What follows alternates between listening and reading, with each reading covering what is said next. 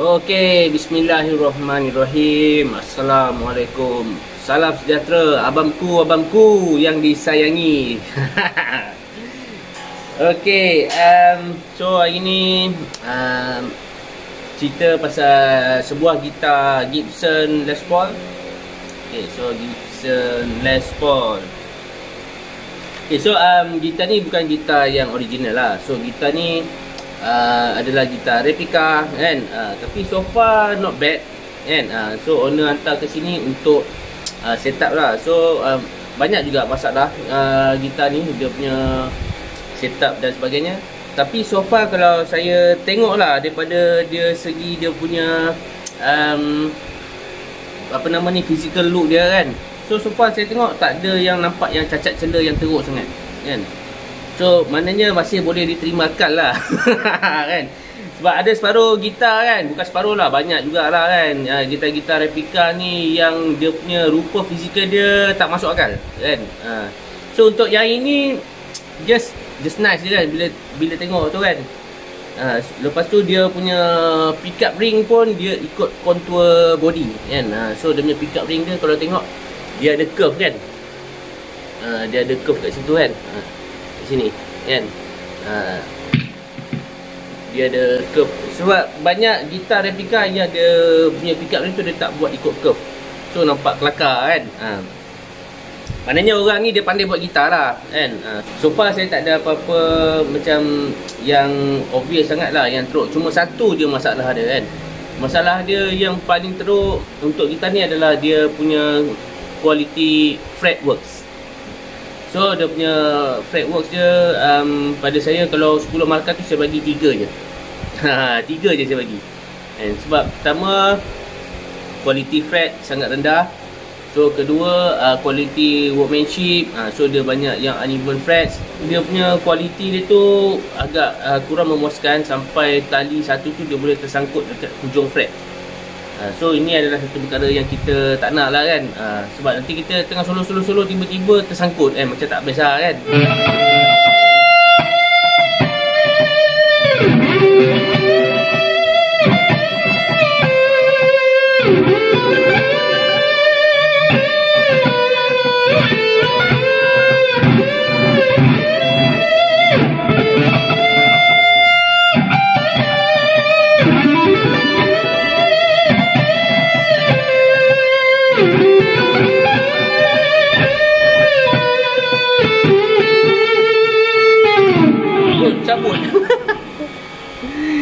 cabut nok dia.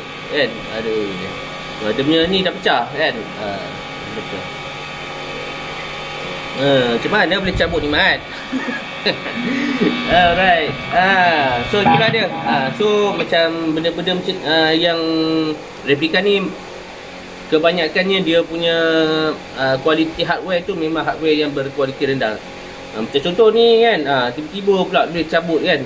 Uh, uh, ni baru, saya baru tahu ni kan? Itulah dia masalah-masalah lazim kalau kita kita macam ni kan. Tapi so far pada macam pada saya uh, benda ni subjektif uh, sebab kita ni masing-masing nasib tak sama bang. Uh, kita nasib tak sama lepas tu kita kalau boleh macam kalau kita pakai barang-barang yang berkualiti kita jangan macam uh, uh, menghina kan. Uh, menghina ataupun kita provoke orang yang pakai kita macam ni dan tak perlu bang benda tu semua. Sebab uh, kita dilahirkan ni nasib masing-masing tak sama kan? So uh, macam saya sendiri macam saya pada saya sendiri memang saya akan gunakan gitar yang berkualiti baik ataupun sekurang-kurangnya medium atau low end yang uh, baik kan?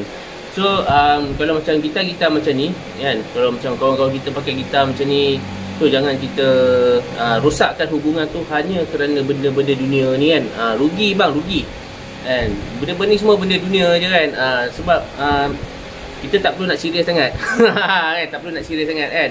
Uh, so just uh, dapat kita just main je kan? Uh, so owner pun dia so macam owner kita ni pun dia bukan tak ada gitar mahal. Dia ada gitar mahal bang. Eh, 5000 bang harga dia beli kan? Uh, dia ada dua gitar mahal kan? Tapi dia nak pakai satu yang macam ni. So okey lah kan? Uh, apa yang serius sangat kan um, macam pada saya dia punya kualiti uh, dia punya kualiti bunyi not bad kan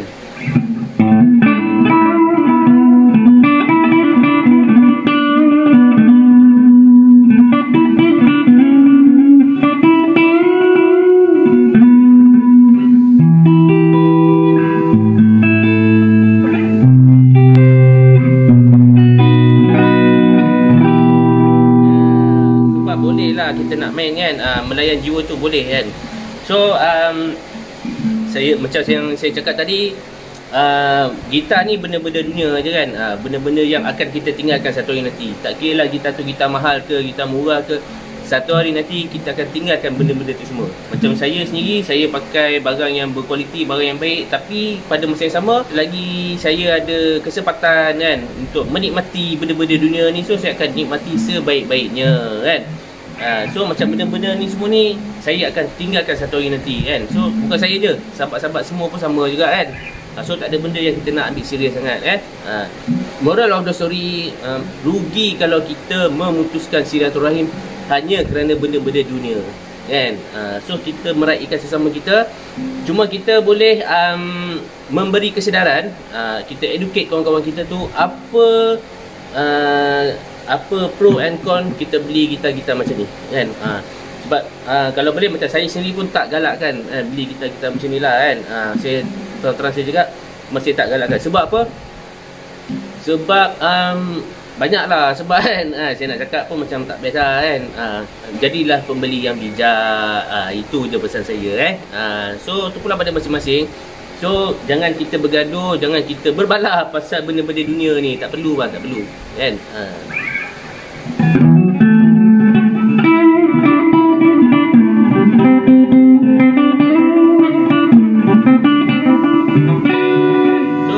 Kalau saya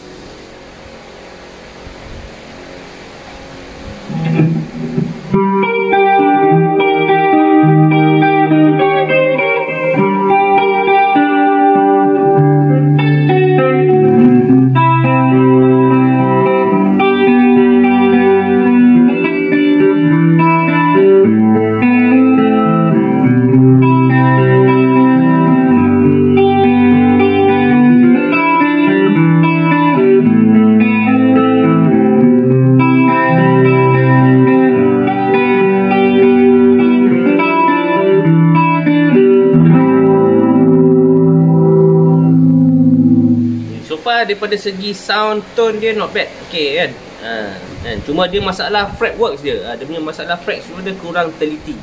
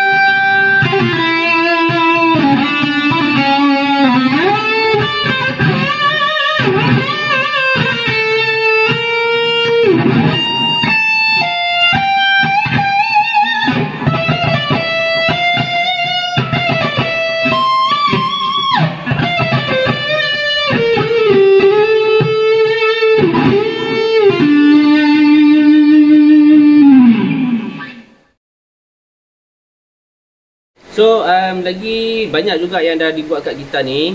Um, Dia punya nut pun saya dah tukar. Uh, Dia punya nut ni saya dah tukar Sebab nut lama dia dah pecah kan. Uh.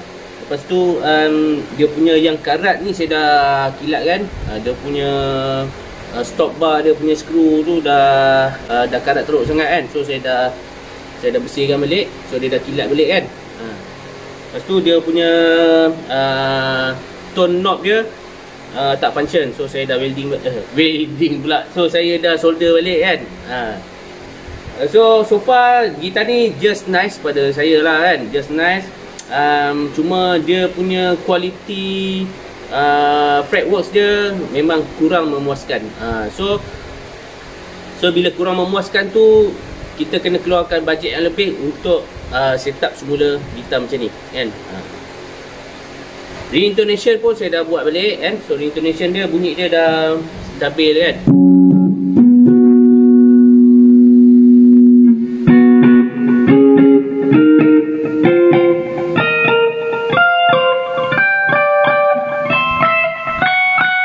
Ha, so bunyi dia dah in tune kan.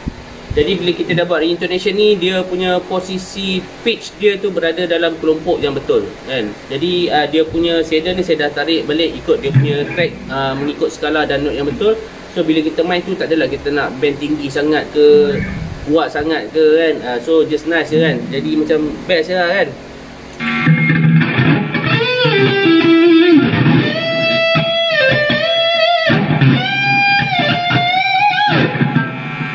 Jadi bila kita nak bend tu uh, note yang kita nak achieve tu senang kan? Dia ngam-ngam je kan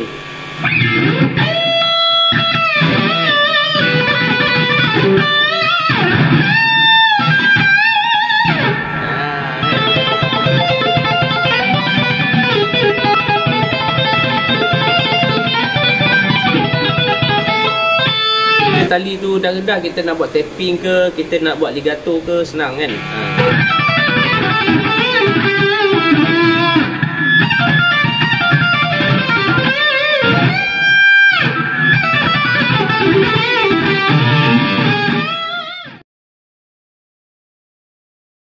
Seperkara lagi um, bila kita nak bahaskan tentang gitar-gitar replika macam ni kan? Uh, So ramai yang uh, mengaitkan tentang tone jari dan sebagainya kan? Uh, Maknanya ada yang kata alah kalau gitar tu perui macam mana pun Kalau tone jari tu bagus sedap juga gitar tu kan? Uh, Pada saya no. Ha, Tidak sama sekali. Sebab kita sekarang ni kita bukan bahas tentang tone jari.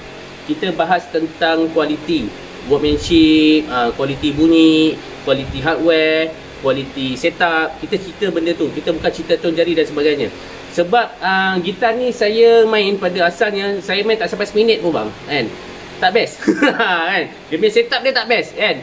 Dia punya saya nak cakap lebih-lebih pun macam tak sure kan? Tapi memang masa memula saya main tu memang tak best bang. Uh, macam bila kita kaitkan gitar-gitar macam ni dengan tone jari uh, macam tak berapa balance kan? Uh, so kalau kita bahaskan tentang quality so that means it's about quality bukan pasal tone jari Okay, uh, so uh, saya berhenti sampai sini je dulu. Uh, terima kasih kepada sahabat-sahabat yang sudi menemani saya petang-petang ni kan.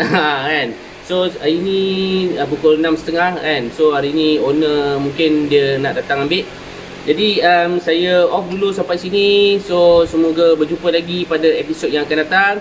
So stay tune jangan lupa subscribe. Okay so kalau ada sahabat-sahabat nak repair kita nak apa nama ni nak hantar kita untuk set up So boleh roja-roja eh. Okay bye. Saya off dulu. Sekian terima kasih. Assalamualaikum. Abangku, abangku.